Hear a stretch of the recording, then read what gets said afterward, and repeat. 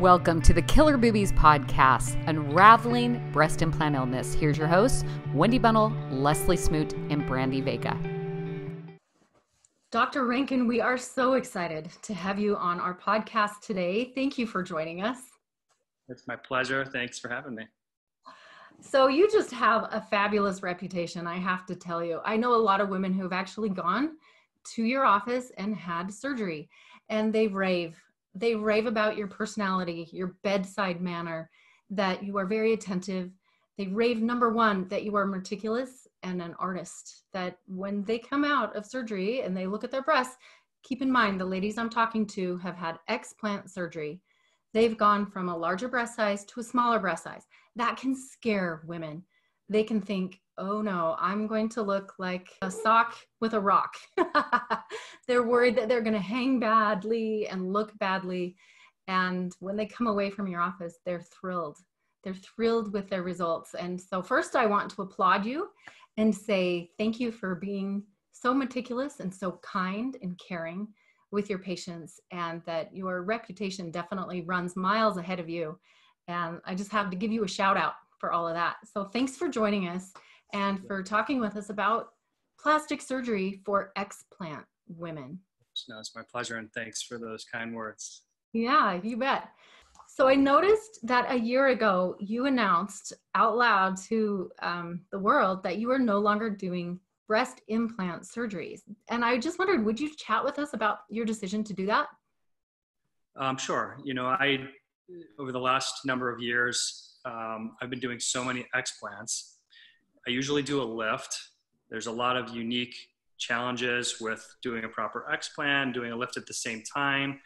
Um, so I've really been able to hone my focus on one procedure um, and try and become the best that I can doing that type of procedure. Um, I, am doing so many explants that I just said, you know what, this is what I'm going to make the main focus of my practice. Um, it's challenging, but my patients are are feeling better, and um, the, the, aesthetic component is really important to me too. Is making you know, and, and, unfortunately, I can't I can't get it on everybody, but just making women feel and, and look the best they can afterward also is really important to me. I really like what you said, and I'd like to mention something to women because my father in law was a surgeon, plastic surgeon, and it's really a good idea to find out what your surgeon is an expert in. Dr. Rankin, you are known as an expert that does breast explant surgery. And that is fantastic because what that means is that you have a lot of experience, you know what to look for, and this is important for somebody going in for explant surgery. Well, it's like anything else in life, experience is the key. So, um, you know, if you want to get your gallbladder removed, you want to go to a doctor that does a tremendous amount of, of cholecystectomies. If you want brain surgery in a specific, you know, type, you want to go to the doctor that does it that way all the time. So, um, it's just experience. Um, you know, uh, whether it's myself or one of my colleagues that do a lot of explant surgeries, I, I, I think it's important to go to a doctor that um, has a lot of experience under their belt. Yeah. So maybe you could tell us what would be a proper explant surgery? What would that look like? What are the techniques that you're doing and why are you doing them?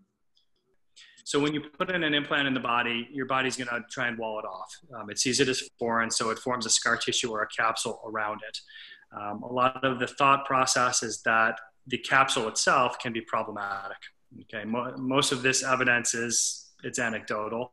However, if we're there and we're removing the implant, let's just take the whole capsule out too to make sure that all the scar tissue is gone. Um, there's no reaction to the foreign body. Um, so basically, we're starting fresh so the patient can fully heal.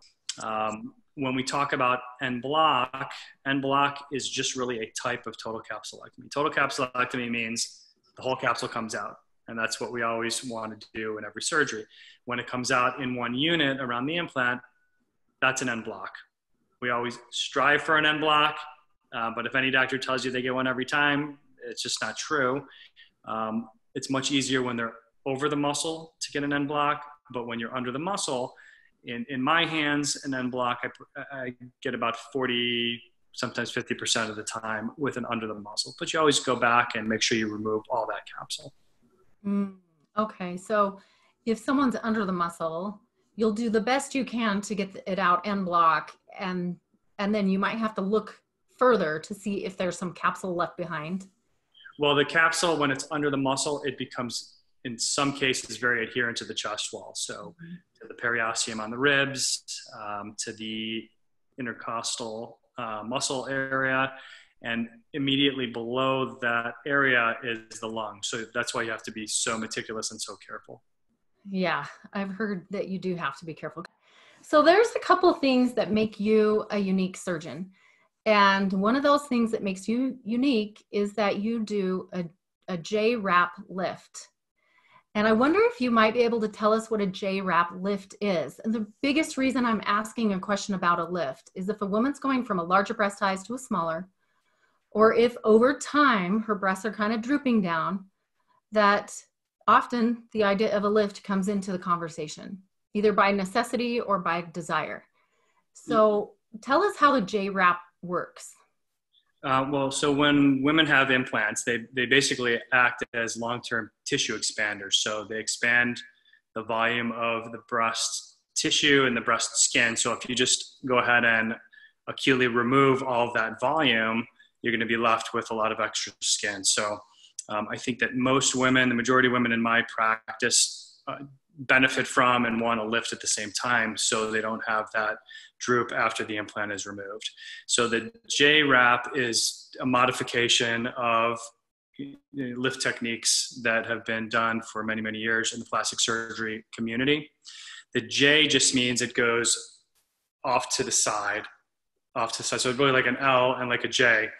What I've tried to do is minimize the scarring towards the midline of the patient's body. So after the fact, once they heal, when they're wearing something that shows off cleavage, like a gown or a bikini, um, you don't see a big scar. Um, that's really the premise of the, the scar component of the J wrap. The wrap part is taking the tissue that the patient has and wrapping or rotating it more behind the nipple areola just to give a little bit more appearance of volume postoperatively. So it's a combination of trying to produce volume in the right place and minimizing scarring. Okay, so if I understand you correctly, the volume is going to be a little higher because of that technique. Is that right? That's that's what I anticipate doing on every patient. Of course, the more breast tissue that my patients have to begin with, the more volume they can achieve um, utilizing their own tissues. Uh, you know, my patients that are very, very thin, um, they don't really see the volume, but they do still see the benefit of the reduced scars. Yeah, and the benefit of the re- reduced scars is great. I know that I have an anchor uh, scar because I did a lift after my explant, and if I'm wearing a low cut swimsuit, I I have to really pay attention to the swimsuit or you will see my scars. And so I like that you're thinking about the v-neck and the gowns or the swimsuits and and not having your scar exposed. I mean, you really don't want to see the scar. So we appreciate that. The, and I also think it's easier recovery with the fewer incision lines. Is that correct? You can make that argument too. Just less areas to heal afterward. Mm-hmm. Mm-hmm. Now, since we're talking about lifts, can you tell us are there any risks with getting a lift? Um, I mean, there's risks with any surgery, as we know. You know, there's um, yeah, um, every patient comes in with an individual surgical and medical history. So, if you're very cautious and prudent and meticulous in preparing your plan, you can avoid potential complications. One of the complications that a lot of doctors will talk about is necrosis or problems with blood supply to the, the nipple. Um, after a patient has already maybe maybe they've had two lifts before or you know a couple of implant exchanges and capsulectomies. Um, so you have to modify your procedure based on their surgical history. So with that being said if a patient has had a previous anchor scar and has no operative report or no information on it well then in those situations i can't do a j-wrap because it could lead to potential complications so Mm-hmm. I modify modify my technique on every patient, and safety is always number one. You never want any any bad complications. Right, right. So some women can go numb in the nipple. It just depends on the woman to some degree. Yeah, it depends on mostly on their past surgical history, what Mm-hmm. incisions were used, whether or not they've had a lift in the past, Mhm. amount of tissue present, um, things like that. So, if a woman had her implants tucked in underneath the breast, um, meaning the incision was underneath the breast, kind of at the bra line, and never had any cuts around the nipple, does that mean she has a lower likelihood of losing sensation on her nipple with a lift? Um, the sensitivity in, in patients postoperatively, the, the risk is still there, whether you do just an explant, explant with lift. The nerves that supply sens- sensation to the nipple, they run, run along the chest wall and then they go up through the breast. So um, women can lose sensitivity just with breast augmentation, just explant. So there's a lot of different factors that come into play. It's not necessarily an incision around the areola that causes Mhm. this. Okay. All right. One other question on the same topic. If someone has had surgery and they've lost a little sensation on the nipple, does that ever come back in time? Like whatever's been damaged kind of comes back together so that the sensation or sensitivity comes back? Well, most women with breast surgery, they do have loss of a sensation, usually for four to six months in the bottom part of the breast. And that usually comes back. With nipple loss, um, occasionally you'll see some reinnervation over time and um, regaining of some, some sensation. Um, but once you lose it in the nipple, the chances coming back are, are they're, they're smaller, but I have seen it happen. Yeah. Okay. Okay, good. Yeah. And what about fat transfer? Do you do fat transfers? And do you think that's a, a decent option for someone who wants a little more fullness without an implant? Well, I, I will do fat transfers for my explant patients after six months of healing time as a primary source of breast augmentation. Uh, I'm not there yet in my practice. I know there's some doctors that have had some reported success with it. Mm-hmm. Mm-hmm. I love that you provide videos. I've seen them in the um, breast implant awareness groups of the videos of your explant surgeries.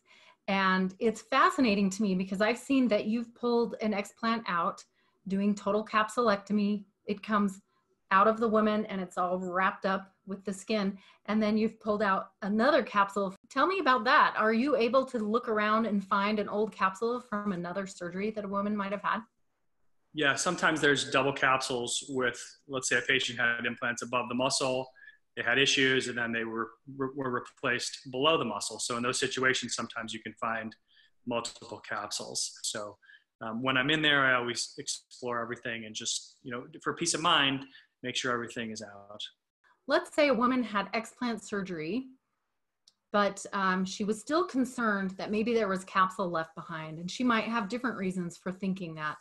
And if she comes into you, uh, do you, you've been able to go in and explore and see if you can pull out any old capsule left behind? Could you tell us what you've seen and what you've experienced? Um, yeah, so we always start with the operative report. You know, let's let's review it and see. Maybe the doctor did a, you know, partial capsulectomy, which means just removed part of the capsule.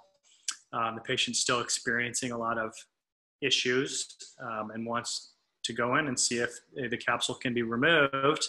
Um, yeah, so I've done that. Um, you know, it's, it's, not what I do mostly, but I do quite a bit of it, um, and just remove any remaining capsular tissue that's present. Okay, great. And has that been beneficial for some of those patients?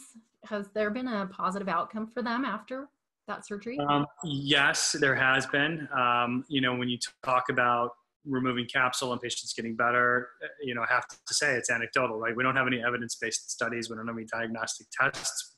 You know, we can only say, you know, uh, on on some patients that are very sick, again, ruled everything else out, having a ton of health issues, and they have these issues. It's something to try. Um, and fortunately, I have had a lot of patients that they've told me they feel better. So that, that's a success in my book. Yeah, I certainly think that the women that I'm talking with, all who have had breast implant illness and who have had explant surgery, the women I'm talking with, the women who reach out to the Killer Boobies podcast, talk about massive improvements in their health. And and that's why we really appreciate you taking the time with us because we know that you have educated yourself taken the time to become an expert in explant surgery and that you've helped a lot of women improve their health and so we really We really appreciate that. I have one I have another question. This might sound kind of like a funny one. But some of the some of the videos that I've seen online, not just from your office, but also from other doctors, it's kind of a horrifying experience. Some of the implants that are coming out of women uh, are mucky, sticky, gooey, broken. Tell us what you're finding in these explants. Uh, well, you know, I, I think that a lot of these videos that you see, of course, you know, they're kind of the most extreme, right? You know, not every woman with implant has calcifications or ruptures or, you know, all this sticky material. Um, that's more of an educational piece of, of, you know, things that can potentially happen. Um, what you see in the videos are calcifications. That's when the implants look kind of hard and calcified.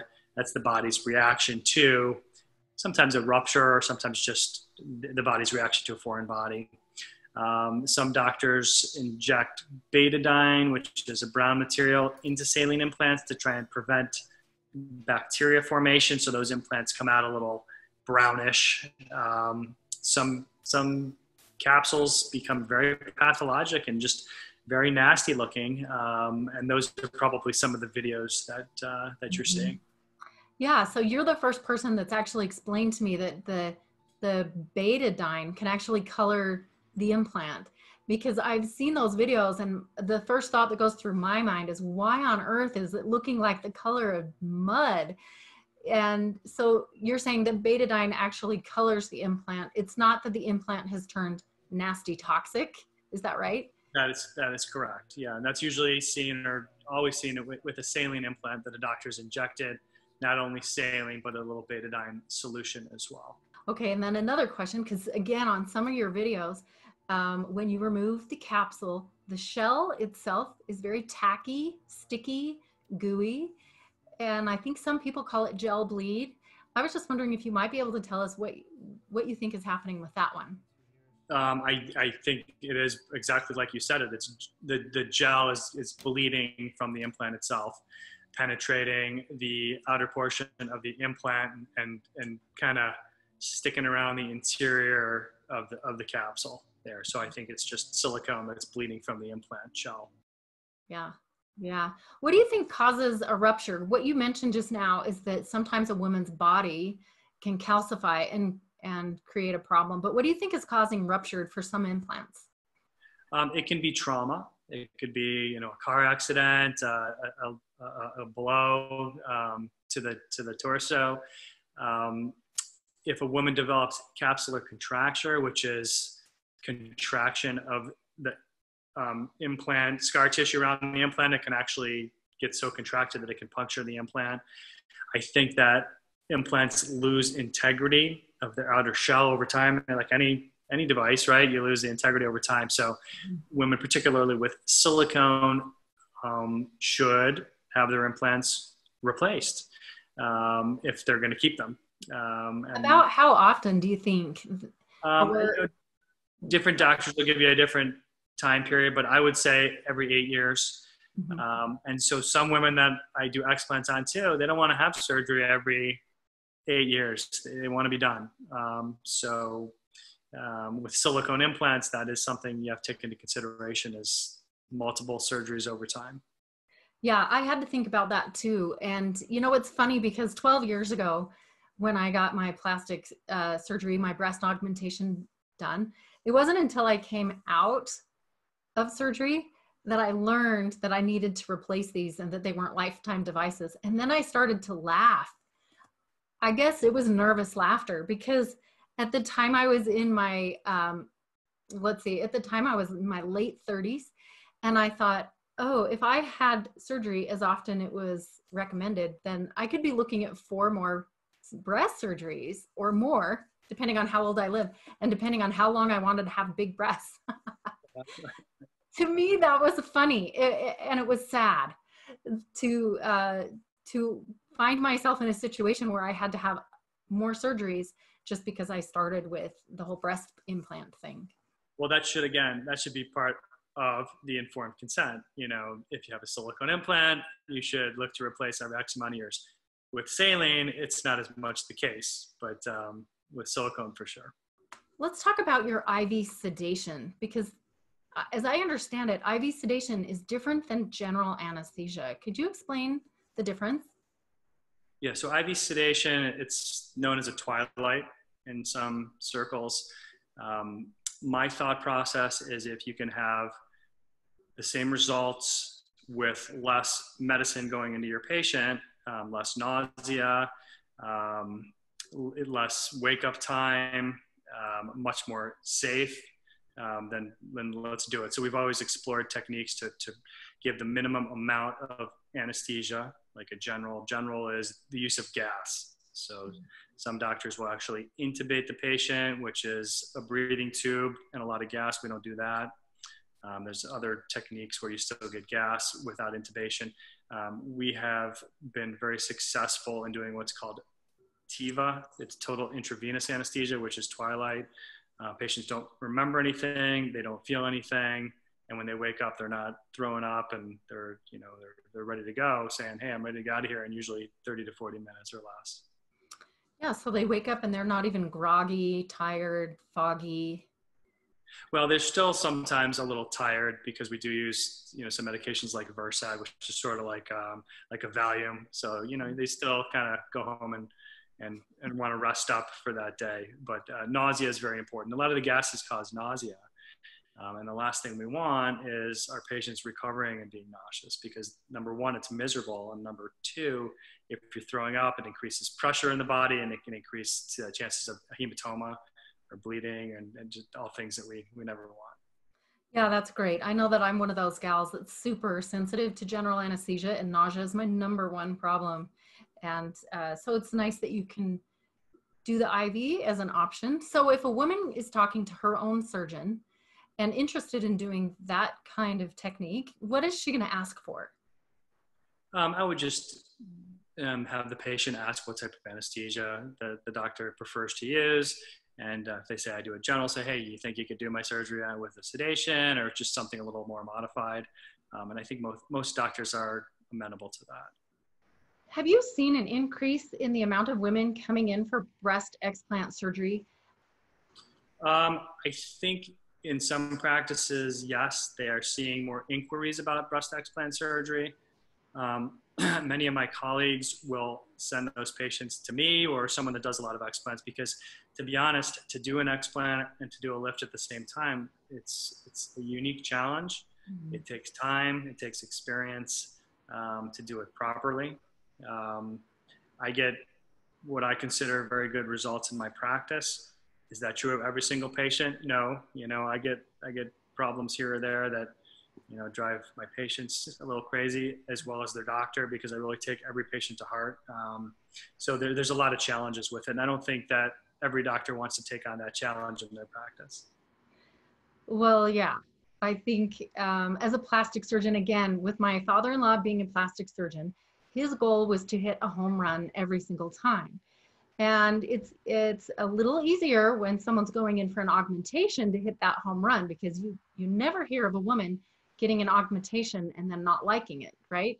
I will tell you, I loved my augmentation. I was really happy with it. What I didn't love was eventually my body rejected it and I got super sick. Um, so to reverse it, I was really quite scared. And so you're dealing, as an explant surgeon, you're dealing with women going into a potential disappointing surgery if they don't like the look of it. Is that right?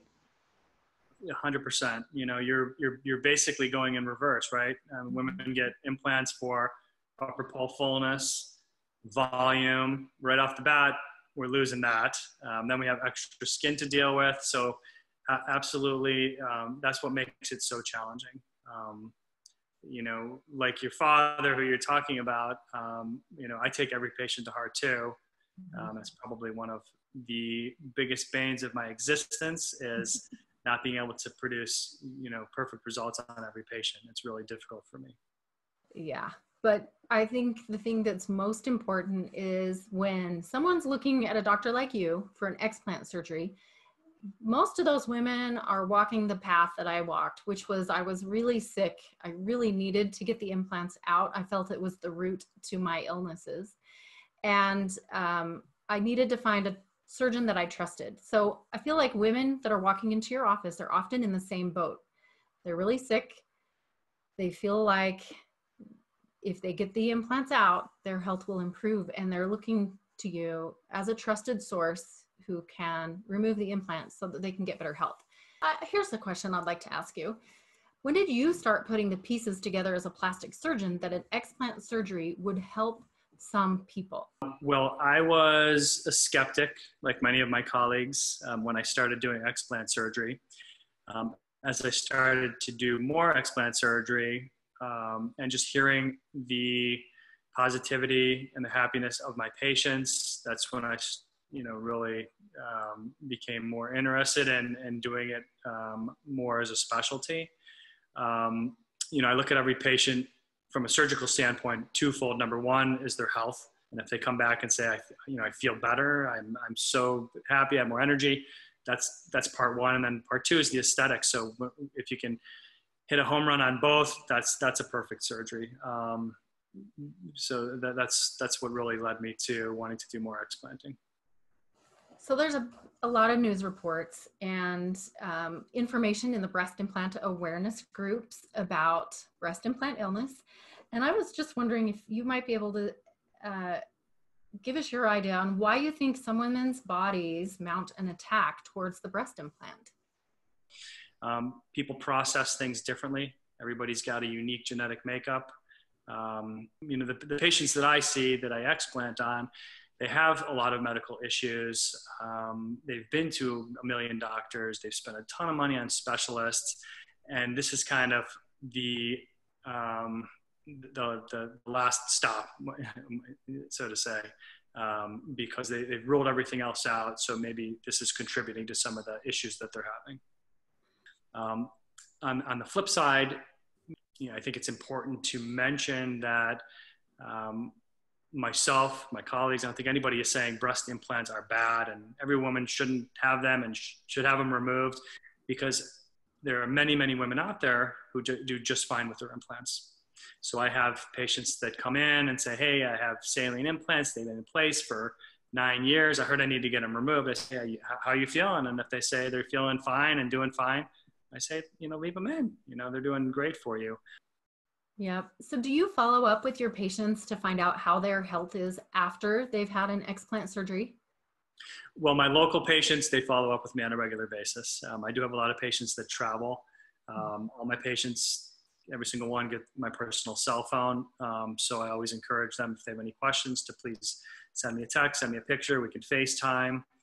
Um, so, I always do try and keep in touch. I think in the future, we would like to, and we've talked about doing some just some studies and some research um, questionnaires. You know, how, how do you feel? Um, did you have any improvements in A, B, C, D, E, F, G, and and and get get a little bit more information. Mm-hmm. Yeah, I think that's great. I, I applaud you for considering doing research and to study your own uh, patients because that information I think can be really beneficial uh, not just for patients out there, but for other doctors who are hearing rumblings about breast implant illness, but they don't know much. I think they're looking for doctors like you that do this on a regular basis to find out what your experience is. Yeah, absolutely. Okay, so Dr. Rankin, every year doctors have to go for continuing education in their field uh, of plastic surgery. Are you seeing any changes in the continuing education courses that will educate doctors about breast implant illness or about explant surgery? Um, you know, I, I have not seen too much in that regard as far as uh, education at this point. I mean, there's a lot of um, talks about, um, you know, what's going on, what the FDA is studying, what the American Society of Plastic Surgery is studying. I think it's just getting to the point where doctors are accepting that there is an issue and there, there needs to be further study. But there's, I haven't seen personally any courses on explanting or anything like that at this time. Well, I think that um, that's one of the one of the pushes is just informed consent. You know, with any type of surgery, you want to know your risks, you want to know benefits, alternatives, and possible complications. Um, and then you go in informed and you can make a decision for yourself. Um, and I think that um, you know, with the advent of, of social media and a lot of women getting together and talking and saying, "Hey, this this is going on," um, I, I, think that the um, the societies of plastic surgery, I think they're listening too, and they're saying, "Hey, you know, something's going on. Let's let's study it. Let's let's figure this out. Let's decide." You know how we can test and and let's get some more research on this. So I think their ears are open too. Yeah, I think that's I think that's wonderful. I know that uh, your staff has a really great reputation in the breast implant awareness groups because um, they're helping a lot of women by answering a lot of questions, and people have raved. Well, you know, my staff is all dedicated to our patients. You know, they're they're, they're compassionate, um, they're knowledgeable. Um, I have um, three staff that are explant liaisons that basically just deal with answering questions and supporting our patients through the whole process. Um, so I think just taking a very compassionate approach to our patients um, is is the way we approach things. You know, many of my staff have had explants as well, so to have somebody within the the organization to be able to speak with the patients about their experiences, I think is really helpful as well.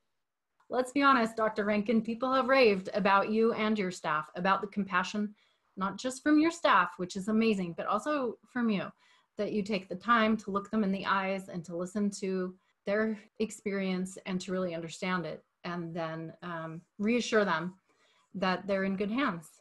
And that makes a big difference. Yeah, thank you. Do you want to talk to us about the mission that you have to help women get healthy? Um, you know, I think I touched upon it a little bit. Um, I became a doctor to help patients, right? Um, and um, I feel like what I'm doing is is is helping women. Um, and I think if you can improve someone's health, make them feel better, um, and they're still happy with the way they look, it's kind of a you know a, a home run on on everything. That's and that's that's my goal. That is so great. Well, again, Dr. Rankin, thank you for spending your time with us. I know that your patients rave about you. They they appreciate your love, your compassion, your time. They appreciate the fact that you're an artist when it comes to the human body and that they're getting wonderful outcomes in terms of aesthetics and also in terms of their health. So, just a final shout out to you and to say thank you so much. Well, thank you very much for having me. And, and I, I truly love my patients and I love what I do. That's great. Yeah. Can you give us your website address or let us know how people can reach out to you if they want to schedule an interview or sign up to come into your surgery center? Yeah, so the name of my practice is Aqua Plastic Surgery, A-Q-U-A, plasticsurgery.com. Um, you can find me on Instagram at David Rankin MD. Um, so if you reach out through any of those means, we're on Facebook too. Um, we'll get back with you just very promptly. Okay, great. I'll make sure I put those links in our show notes. Thank you so much. Pleasure. Thank you for listening. Spread the word by subscribing, liking, and sharing the Killer Boobies podcast today. You could be the person who helps someone reverse their pain and suffering and reclaim their health today.